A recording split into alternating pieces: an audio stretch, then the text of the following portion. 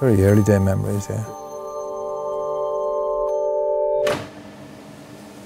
I love the noise of a factory. Just, just love the, love the excitement and the energy of, of what was going on here.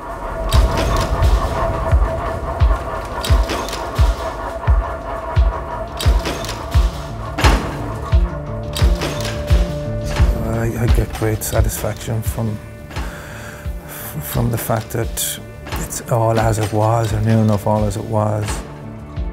Yeah, I loved it. Loved the smell of the burning polish, loved the particular noises that came from the grinding wheel. Uh, there were skills on that factory floor that would date back a couple of hundred years.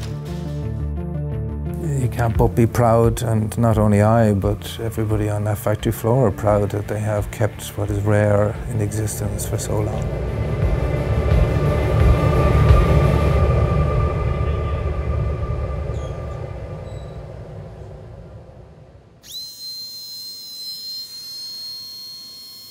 We have craftsmen here currently with experience of over 50 years each. We've got a history of dedication and long service running back over the last 80 years. Every piece is handled individually. Every spoon, every fork, and every knife.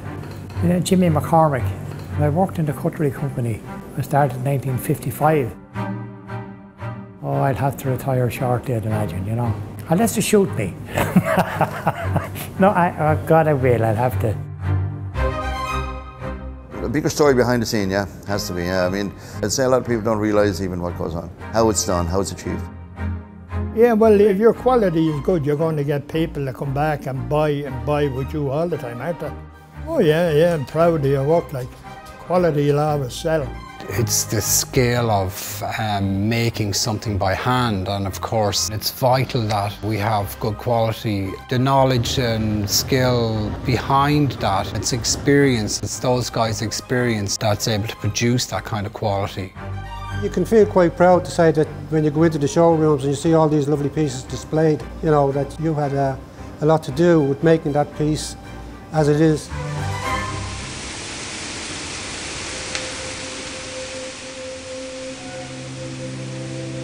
4th of January 1950. I come in as uh, on a three months uh, trial basis. Uh, it was a long three months. It was a craft and a highly crafted skill it was for all the people that worked on it because if you didn't get it right, at the end of the day it was, it was sent back as scrap. I think Newbridge Cutlery is known for its craftsmanship. The employees have, have been here for years. They've spent their whole life in the cutlery, never worked anywhere else and they were craftsmen. It's a nice thing about Newbridge Silverware. We get in raw material and we make the product right through to the very final stage. So it's uh, silver plated, it's packaged and then it's sold in the showroom. You're taking a piece right from the ground and, and building it and making it and designing it, cutting it, polishing it and then plating it, you know it's uh, it's important, very important, because a lot of a lot of places have gone by the board. You know, it's important to have the homegrown uh, skill, if you like. There's a lot of people here that worked in here, and their sons and their daughters worked in it. You had fathers, sons, and daughters, you know, and, and that still goes on, you know, but that's still going on. I've worked with plating all my life, and it was my uncle who actually got me into that trade, and I've been in it ever since. That's 50 years ago. We have the Tunney family here at the moment.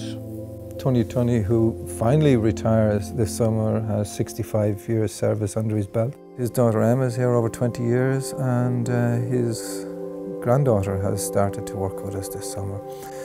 So there are many cases of families being associated with our company.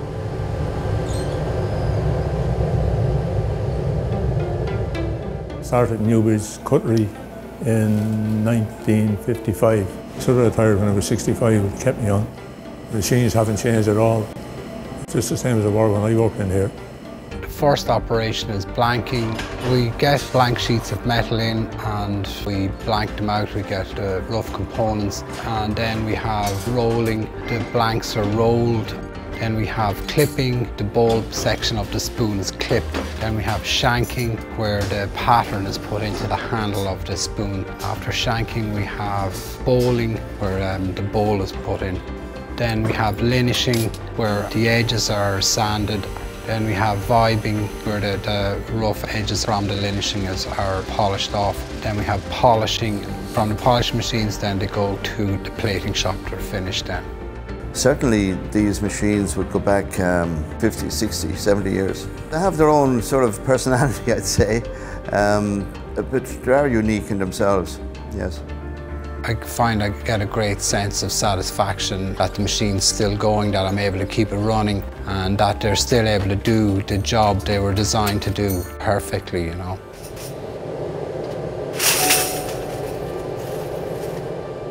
Newbridge is, is unique now. Newbridge cutlery is unique because a sheet comes in and it goes out the other end in a canteen of cutlery. There's no other cutlery factory does that anymore. And uh, it's just amazing. It's so, it's so new, you know, and shining, you know. It's, oh yeah, it's really good. I'm sure William has struggled down the years trying to maintain and, and, and hang on to this process because uh, it is, I suppose, um, it would be heavily uh, dependent on people, you know, and skill. If I was younger, I had to start again, I would, yeah. I'd no regrets, no, never any regrets from coming into Newbridge Cutlery. Oh, I do it all over again, yeah. I was a very happy area. Very happy, yeah. Enjoyed every minute of it. Uh, this company has been challenged many times in the past. We survived a world war in the past and we survived many recessions. We were challenged recently by the financial crisis and we believe that we are now in a position to move forward into a new era and hopefully a new generation will come on board to bring it from here and beyond.